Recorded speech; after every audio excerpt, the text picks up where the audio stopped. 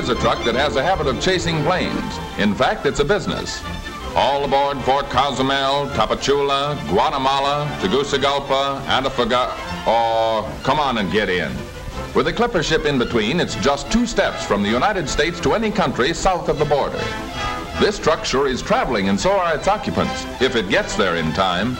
Six minutes to go, then off to South America. Step on it, driver. That airport is still a mile away. Uh-oh, and this plane waits for nobody. Right in the nick of time.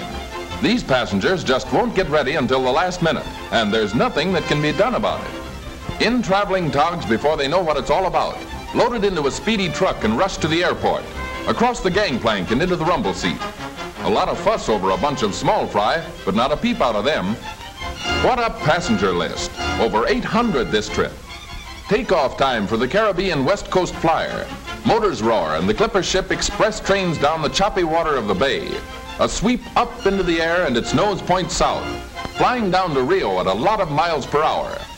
Next plane leaves in 45 minutes, so back again for another load. Thousands pass through this unusual air terminal daily.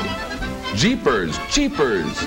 Over 10,000 of these animated powder puffs are rushed to Central and South American markets every week. All because the American chicken is a better egg producer, is better tasting. Come on out, fella, and have a look around. Try grunting, that helps sometimes. Stand up, you sissy. Right after hatching, one of these little fuzzers weighs only half as much as an egg, so rides for half fare.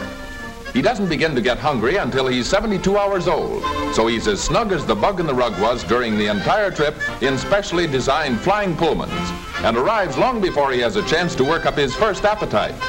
American chicks bring home South American checks. This is one time when a dozen chickens are cheaper than a dozen eggs. Happy landings, you birds.